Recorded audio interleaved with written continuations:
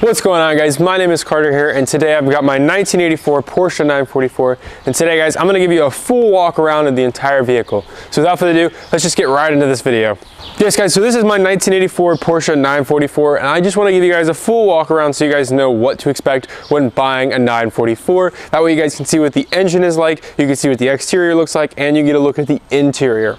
But just before I get into this video, you guys know me as Thatfine44 on TikTok. What are you doing, dog? What are you doing? The dog, dog, dog. But just before I get any further into this video, you guys know me as Thatfine44 on TikTok, and this is gonna be my first YouTube video, so I'm so excited to show this off to you guys fully on YouTube, so you guys get a really good understanding of the car. So let's just get right into this thing. So guys, when going over the entire vehicle, we're gonna go ahead and start off with the exterior first, then we'll move into the engine bay, and then we'll move into the interior. Firstly, we're just gonna start up here with the front. Got the iconic Porsche logo right here. We've got the very iconic pop-up headlights here. I as well have my university plate. And then right here, you can see these black bumper guards. This is what they call the US bumper. It's the base model because it's an early model 944. So these came with these two big black bumper guards here. And then you have the fog lights just down here. And then the turn signals kind of off to the side of the bumper guard. And then a little like a, a side light there. There are a couple variations of the front bumper of the 944. Um, the other one was a Euro bumper, and then they had the turbo bumper, which was later on. Um, there's a lot of going back and forth on which one looks better. I personally think the US base bumper looks the best. Um, it's got these big black bumper guards, and then I'll post a picture here of the Euro as well as the turbo bumper. So now I'm gonna go ahead and move to kind of the side of the vehicle here. I wanted to show you guys these massive fender flares that Porsche added from the 924. They basically took a 924 body and instead of making it completely straight throughout the entire body, they added these flares here in the front and then they as well added them back here in the back and it really gives the wheel a nice tucked look here. The fitment in terms of today's standards is not the best, but it does make it look really nice and tucked. And then as well, if you guys can see here, you've got the antenna. This is supposed to go up and down as you turn the radio on inside the car. Mine, unfortunately, does not work, so I have it all the way down just to give it a more sleek look. And then I'll go ahead and show this now. We've got the mirror here. These are pretty much the same mirrors as any other Porsche from this year. They're on the 911, I believe the 928, the 924. This is just kind of your very typical Porsche mirror. Now we're gonna go ahead and take a look at the wheels here. The wheel here is only 15 inches and it's only 215 wide, so not a very big wheel, but it does get the job done pretty good. Um, these specific wheels here are called cookie cutters. There was only two options in 1984 for the 944. Uh, it was the Fuchs and the cookie cutters. These, in my opinion, look a lot better in the Fuchs. Um, they both kind of have this star pattern here, but the Fuchs, instead of kind of going in, they kind of protruded out a little bit more, but they both look really good. Mine are not finished up at all. That's why they look really dirty around the silver, and the black is not very black as it used to be. So we're gonna head and move to this side of the car real quick. You see we got the door handle here, and then we got an extra keyhole here. This is actually equipped with the factory alarm system, so this is how you would arm it right here. And then you've got this white trim panel piece right here. A lot of people do remove these because they don't like the look of them, but I'm trying to keep mine completely original, and I do kind of like the look of this, so I'm leaving mine here. And then you've got the window here as well as another smaller quarter panel window here. This gives a lot of side visibility, which is really helpful. Then as you move a little further back, you can see we got the other wheel back here and you can kind of see the fender flare here. Gives a nice tucked look for this wheel. So now we're gonna go ahead and move to the very rear of the car. You can see right away, we have got these big brick tail lights. These things look, in my opinion, absolutely fantastic on this car. Very 80s, very retro, look great. Then as you kind of move down here, you can see the big Porsche script text right here. Mine is supposed to have these two black bars here, but they're unfortunately missing. Then as we look at the rear bumper, we can see the big black bumper guards that you have in the front of the car. There was a Euro version of the 944 rear bumper, but I personally think either one looks good and I have no complaints on either of them. Then you can see we have the keyhole here for the rear hatch to open that up. And then we've got the 944 logo right there. And then we've got the license plate in the middle. The 944s also came with an option. Uh, I believe it was a factory option or an outside third party option. I don't know, but it did have a Porsche light bar here in the middle. And I'll post a picture here for you guys to see that. Um, either one looks really good couldn't complain if I had mine or not, but I think either option looks fantastic. Then we've got the big glass hatch here. It also has this rubber spoiler attached to it, which says Porsche kind of engraved in there. Um, these hatches are a pain to work on because they're made of tempered glass. So you have to be extremely careful if you ever take it off or something because you can shatter this really easily. Then as well here, I don't know if you guys can see it or not, but there is a plug here because I actually have a rear wiper delete, but usually there is a wiper here on a lot of cars. So it makes it really nice if you're trying to drive in the rain and you can't see out the back. I believe mine was deleted from factory, but I could be wrong about that. I'm not too sure if that was an option or not. Just wanted to give you guys a quick close-up of the Porsche text on the rear rubber spoiler. So once we go ahead and get under the hood here, you will see we have a four-cylinder engine. This is a two and a half liter four-cylinder engine. It only makes 143 horsepower and 137 pound-feet of torque. That was the 1984 year. As you went on through the years and stuff and they got older, they did start to make more power because people realized 143 horsepower is not a whole lot on a car.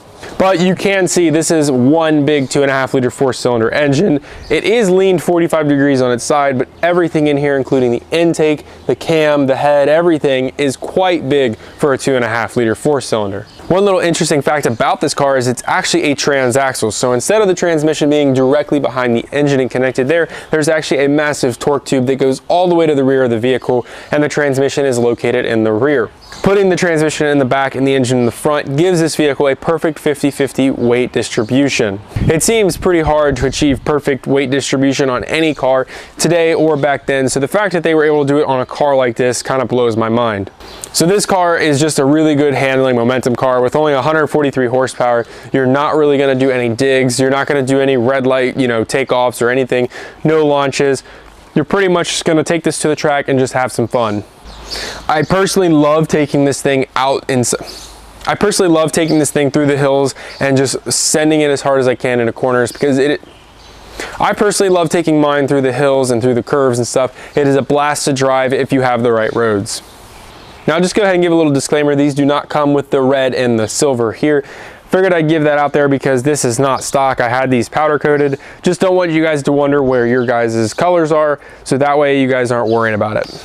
And I will go ahead and do a little handheld walk around of the engine bay. We have the intake here, the cam here, we've got our timing belt and all that stuff down there, the distributor cap, the coolant hose, the intake, which comes through here. It's pretty big intake for it. And then this is our throttle cable that runs all the way through there. And then we've got like fuel lines and stuff, our fuel rail. And then you come over here and you can see the Porsche text right there on the cam. And then if you look down there, you got the exhaust. And one little cool thing about this is it actually says the firing order right here, but it's all in German. And then like any other Porsche thing or any other car part, it does have the part number on it. So kind of as you move around the vehicle, you'll see a bunch of stickers with diagrams and warnings. Um, you've got one down here as well. And then you have one up there that says high voltage because there actually is, believe it or not, in these engine bays, there is a little light right there that comes on when you have your headlights on at night. So that way, if you're working on your engine and it's dark out, you actually can turn that on and you can see a little bit better. Here's kind of another little sticker I found for you guys, just as charge level. Pretty cool to see all these little stickers around here. And then as we come on the driver's side of the vehicle, you'll see a little thing that says where it was made and kind of give the exact date. Mine was made in West Germany and it was made in November of 1983. So as we move on to the interior, you can see I have the tan and brown option as you can see. And then I'm gonna go ahead and start from kind of the doors, move to the back, and then we'll move into the front center section. So on my 944, I actually have electric windows as you can see. Then as well, you have this little knob down here because the mirrors are actually electric. So you would actually flip this switch right here to select which mirror you would like to adjust. And then you just use that little joystick there and adjust your mirror. And then we've got your little door handle here, got like an armrest and a little cubby here with some carpet on it. And then we've got the speakers, which mine are aftermarket. So now we're gonna go ahead and move to the rear hatchback here.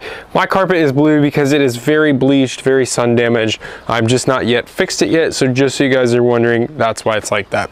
So as you come back here, you can see we've got the rear seats here. There are two buttons here on either side. Um, you actually push both those in and you can lay the rear seat down and get a bunch more hatch room.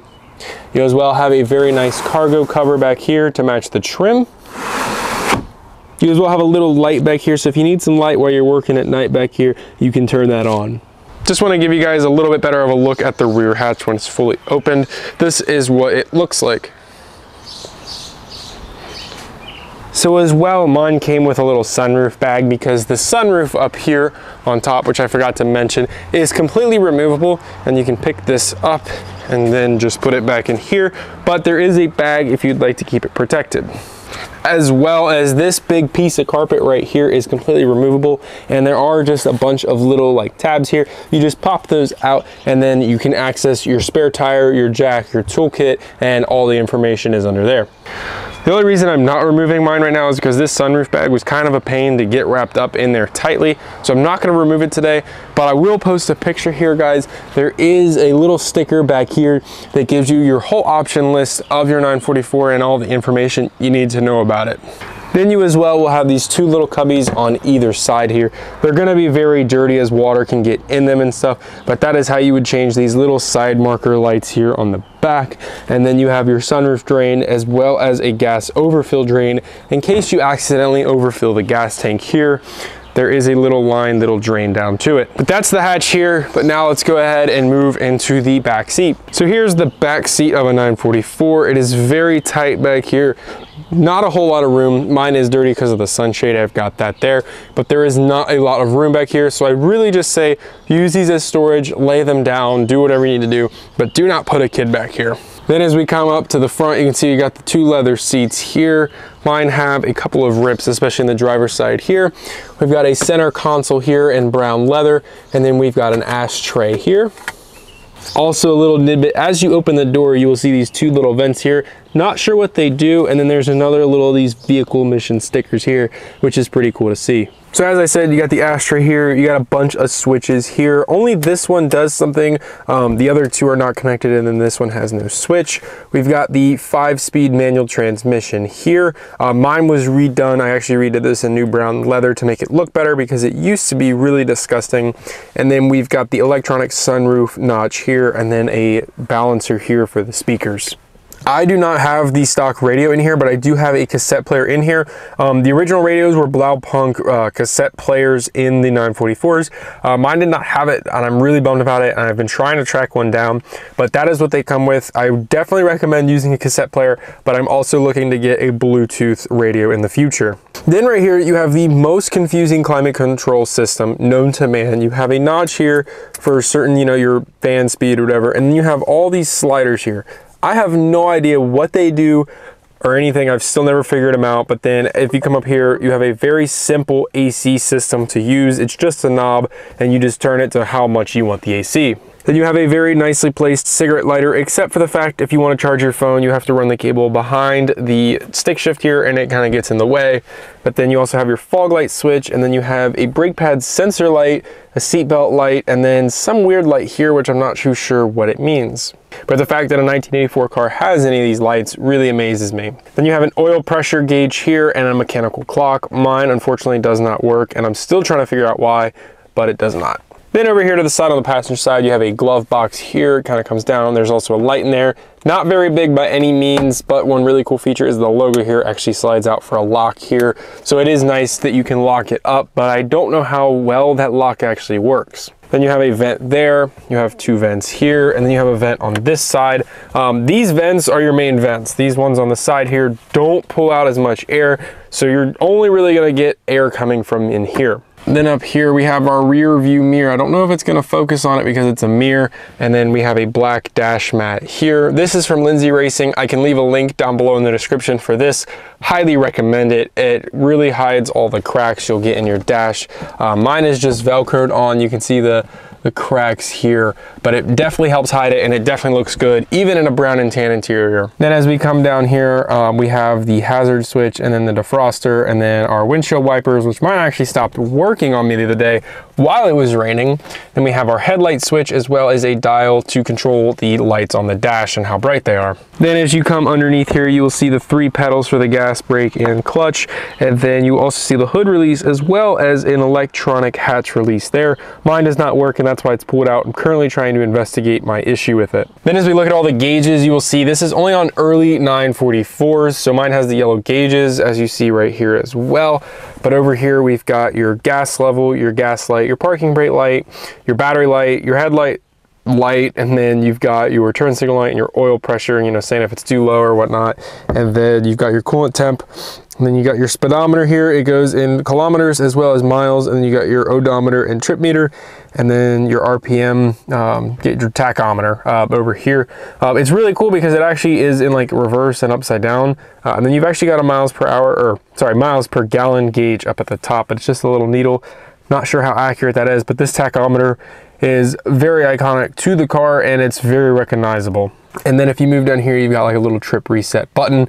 Um, one really cool thing about these is that they give a very weird look um, when you look at it head on, but they're actually uh, concave. I don't know if you guys can see it, but I'll post a picture of one of these looks like um, when you pull it out of a car because it is not what it looks like when you look at them straight on. And then down here, I've got my Porsche mats. These are from Lloyd Mats, but they unfortunately do not make them anymore, but you can get some really nice mats that say Porsche for these cars.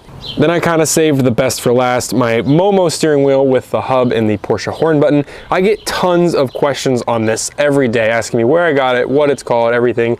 It looks fantastic in the car. I love it. It is a little smaller than the stock steering wheel, so it does block some of the gauges, but that is honestly worth it because I was able to bring the wheel out a little closer to me. I was able to really get a good grip on the wheel for once and my old one was ripped and it wasn't very good to handle and I, I, really loved the wheel but it was just too much to redo it and I just couldn't justify it. So my girlfriend actually bought me this one for Christmas so I didn't even have to buy this all I had to do was buy the horn button, the spacer and the adapter. But this is my Momo Prototipo uh, steering wheel. Very nice. Highly recommend these. They feel amazing. They're all Italian leather. It's all made in Italy. I will leave a link to this and all the pieces with it down in the description below. Just another little tidbit here. I thought I would go ahead and show you guys. I'm about six foot, six foot one-ish, and there is quite a lot of headroom in this car, thanks to the seats being completely on the ground. So I figured I'd just go ahead and show you guys. So if you are taller, six one, six, you know, whatever, I think you can fit up to like a six four person in here. Don't worry if you guys are like six four, six five, you definitely could fit in one of these cars. Also, just one last thing about the interior is if you have the door open like this, while the car is running, there actually is a sensor right there that tells it that the door is open and it does beep at you, which is pretty cool. I'm unfortunately not able to do it because mine is kind of finicky and only works sometimes, but there is a door sensor in case your door is open. So that there guys is the full walk around of the 944. I'm super excited that I got to finally film this video for you guys. And if there's anything I missed, please let me know. I'll make sure to get it in a part two or maybe redo this video, but I'm pretty sure I got everything there just showing it off. I will have a video coming soon of like a buyer's guide to buy a 944, so make sure you guys stay tuned for that. So that is all I have here for the 944 today, guys. And make sure to please click the like button and subscribe because I'm gonna have a ton of 944 content as well as a ton of car content coming in general. Also, if you guys came from my TikTok account, please let me know down in the comments below. I'm super curious to see that and I really appreciate everyone on there who follows me. So that's all I got here for the 944 today. Make sure you guys subscribe, like I said, click like, and thank you guys for all your support. See you next time.